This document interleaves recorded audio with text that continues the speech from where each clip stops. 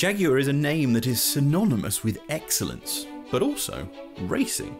Jags have triumphed in pretty much every single part of motorsport. Well, except, you know, that time they tried Formula One. But out of all those mighty racing cars, which are our favourites? Well, here's a quick list to get your attention. And if you do enjoy this video, don't forget to hit that like button and then, you know, subscribe to the channel and ring that bell icon and then you'll see absolutely everything that we put on YouTube at Goodwood Road and Racing.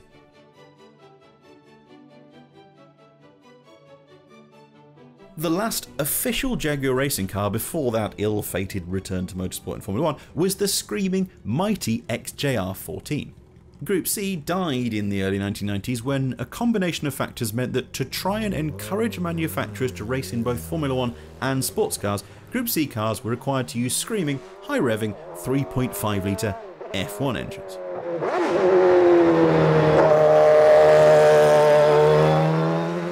Rather than bringing costs down, this predictably made them spiral. However, it did mean that Group C went out in a screaming blaze of aural glory, and so did Jaguar.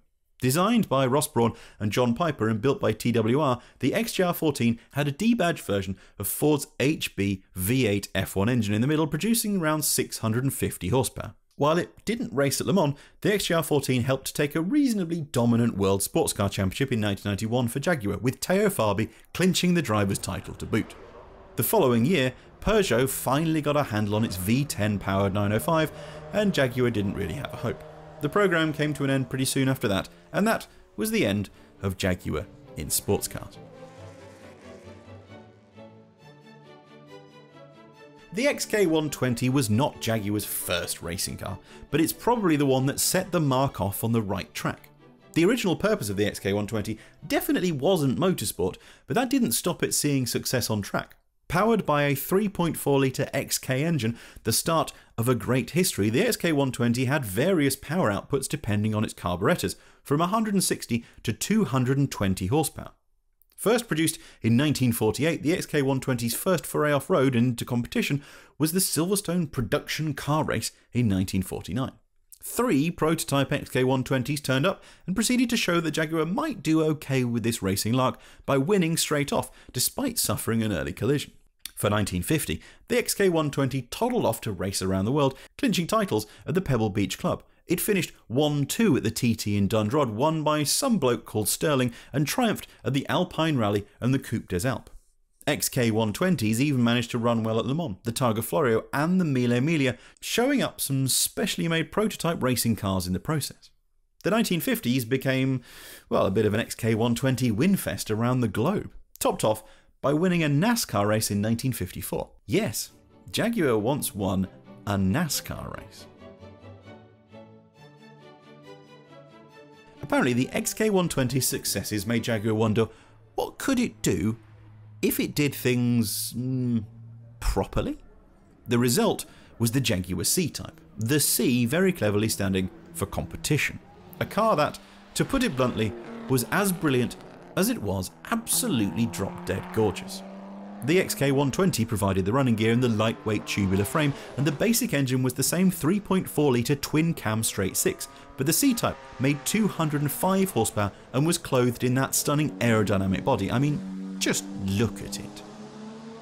53 C types were made for racing between 1951 and 1953, and so popular was it that 43 of them were sold to race by privateers. To say the C type was successful would be an understatement. It won its very first attempt at Le Mans in 1951 and then did it again in 1953, finishing first, second, and fourth. With its lightweight aluminium body and thicker steel chassis, it outclassed its rivals, and later, with a third carburetor added for more power, the addition of disc brakes on all four wheels made the C Type almost unbeatable. The winning car in 1953 was pedalled by Duncan Hamilton and Tony Rolt. They finished with an average speed of 105.85 miles an hour, becoming the first team ever to average over 100 miles an hour at Le Mans. After C came, well, D. The D type was designed with one thing in its sights continuing Jaguar's successes at Le Mans. Taking the successful and now proven XK engine, Jaguar added an innovative monocoque chassis and then topped it off with some new aerodynamics derived from aircraft. The D Type was an almost guaranteed winner.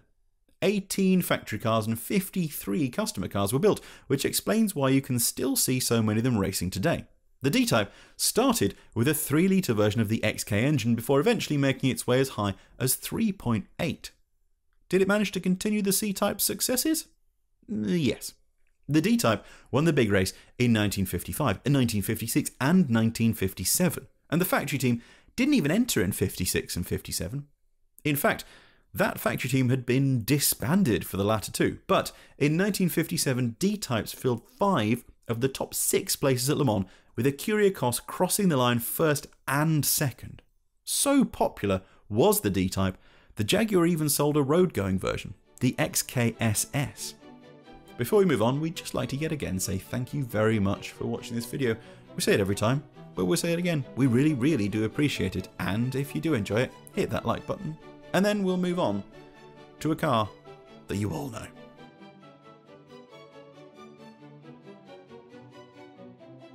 Is there anything more iconic than an E-Type?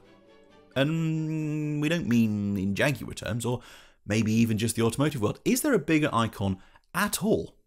The E was very much a road car with no real pretenses for racing, but a few did foray into motorsport and managed some success, which provoked Jaguar into building a limited run of special lightweight E types. These, cleverly named lightweight E types, had, you guessed it, the XK straight 6 engine, this time in 3.8 litre guise and producing around 300 horsepower.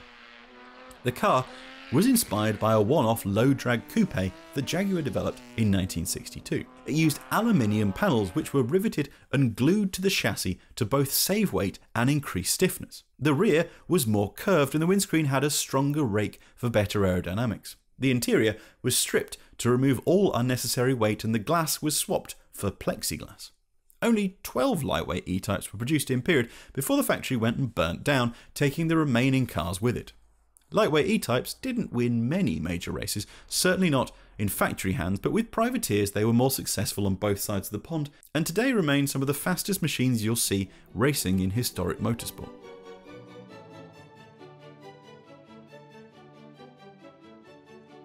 Jaguar didn't make a racing version of the XJS.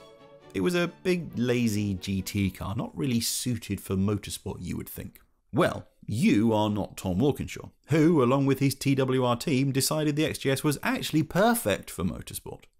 From 1982 to 85, TWR raced the Jaguar in the European Touring Car Championship and around the world with factory blessing.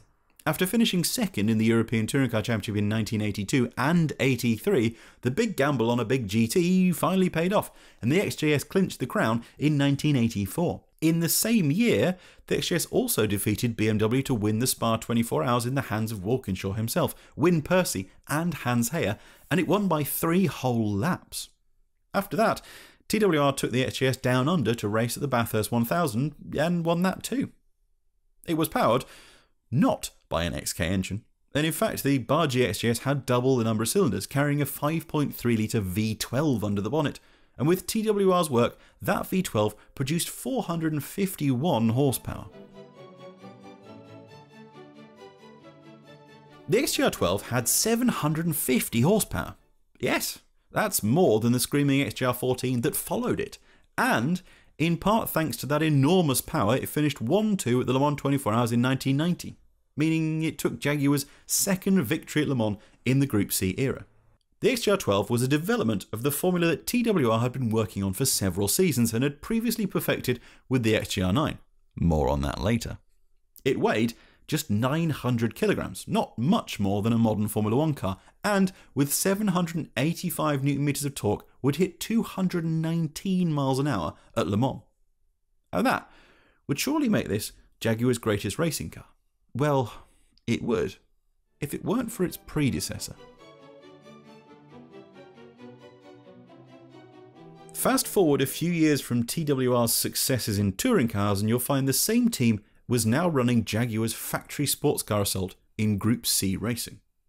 For its assault on the World and IMSA Sports Car Championships, Jaguar built the XJR9, a sleek V12 powered sports car with a massive 7 litre engine that was pretty much a bored out version of the 5.3 litre V12 that the XJS had had. With a little rear wing and faired in wheels, this was a speed machine designed to be fast on Le Mans' fearsome Mulsanne Straight. But it wasn't just a one trick pony. The XJR9 won on its very first outing, which was just the Daytona 24 Hours, no biggie. And then back in Europe, it won six races in the World Sports Prototype Championship and pretty much walked to the title, as well as doubling up with the big one, as Jaguar won Le Mans for the first time since the 1950s. That historic treble, the world title, Daytona 24 Hours and Le Mans 24 Hours in a single season must surely make the XJR9 Jaguar's greatest racing car of all time. But don't take our word for it. Which do you think is Jaguar's best racing car? Let us know in the comments below.